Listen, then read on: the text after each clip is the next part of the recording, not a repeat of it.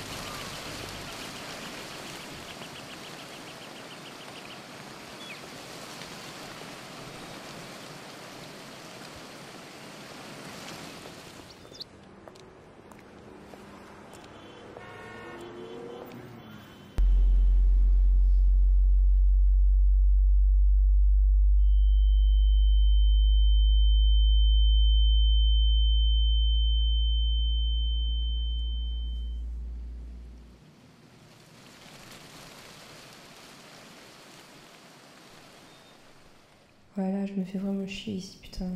Hein? Ça me saoule. Putain, mais qu'est-ce qu'elle a encore, celle-là?